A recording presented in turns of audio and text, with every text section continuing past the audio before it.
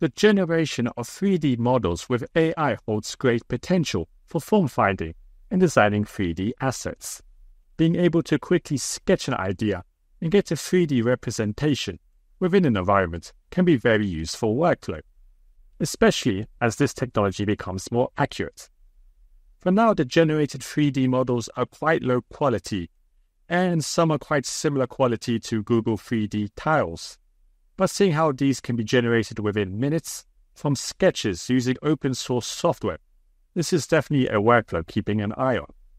It is also worth mentioning there are many other AI 3D models out there with promising progress, such as CAT3D for multi-view diffusion models or OpenAI's Shape E for simpler 3D object generation. But for this video, I'll go through a great Comfy UI workflow. For this tutorial, I'll be using Tripo SR by Stability AI for fast 3D object reconstruction from a single image. You can read the technical explanation on the GitHub and academic paper. Only three nodes are actually needed for this workflow, and has similar results to much more complicated workflows or even paid services before we jump into UI, we will download the Tripo SR model checkpoint, rename it to avoid any confusion, and paste it into your checkpoints folder in Comfy UI. For the custom nodes, you can either git clone it into your repository as per the instructions on the GitHub page, or an easier way is to go into your Comfy UI manager, custom nodes, and install it from here. And then you just need to restart. I'll be using a sketch to image to 3D workflow. However, I covered the sketch to image part in a previous video, so you can check that out in order to get to this. And it is using a standard SD 1.5 ControlNet with a scribble model. Here I've loaded in a very basic tower sketch and we'll add a preview image here so our starting point can be viewed. And then I will just generate. Now we have an interesting modern tower design to make into 3D. I will drop in our three main custom nodes from Tripo SR from the search bar. So first the model loader, then the sampler, and then finally the viewer. There's a lot of power in just these three simple nodes. We will need to change the model in the loader to the one that we downloaded for the Tripo SR checkpoint. We move these over, and we can connect the image from the decoder straight into our sampler. You see that there's a connector for a reference mask. If the image has no background, you can leave this blank. However, since we have a Skynet image, it can confuse the 3D generation, as we want an object and not a whole scene. We could try prompt it out with some text. However, it is not always successful and a much easier method is just to use a background remover node. We can install this also from the manager under custom nodes, and it is called RemBG. So search for this and install the background remover. There are two nodes needed for this to work. First is the RemBG session, and the second is the actual image remove background node.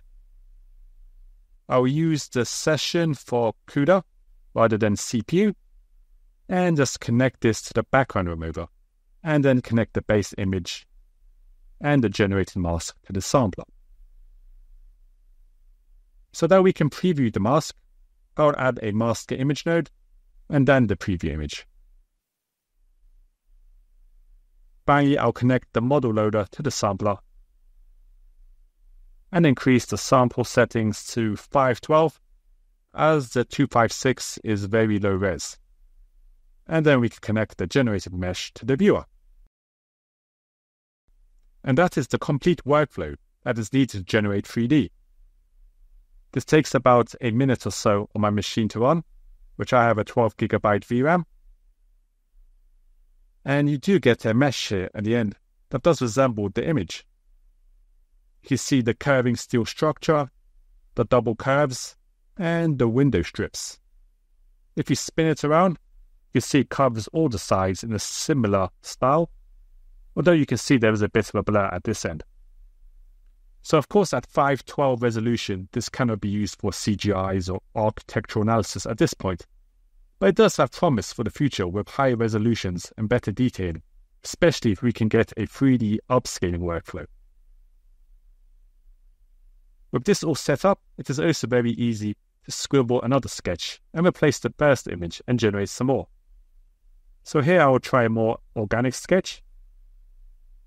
And you can see it picks up all the curves and windows, although maybe this is a bit too abstract for an office building. I'll try another sketch with some simple volumes and generate again. Actually, the sketch to render here has generated an interesting addition with a form wrapping the volumes. And then the 3D has also been extruded into a volume which I didn't expect. But I think it's quite a creative output for the AI. If you don't want to start from sketch and already have an image or render from another app, such as Midjourney here, you might have better and more creative details so what you can do is just remove the first half of the workflow and use the image loader, drop in the render into this, and then connect the image to the TriPo SR sampler and the background remover. When we run this, the mesh actually picks out all the edges from the organic shape and window recesses, which I think is quite impressive for such a quick and low res model. These meshes all are saved out as OBJs, so they can be dragged and dropped into your favorite 3D software. Here in Rhino 3D, I've placed them in 3D Google Maps scene, which roughly matches the resolution, so they blend in quite well actually. And you can see the potential for quick contextual massing studies. Interesting ideas for apps could include using this technology to generate 3D models from sketches directly into 3D Google Maps although scaling is difficult to control in the generation.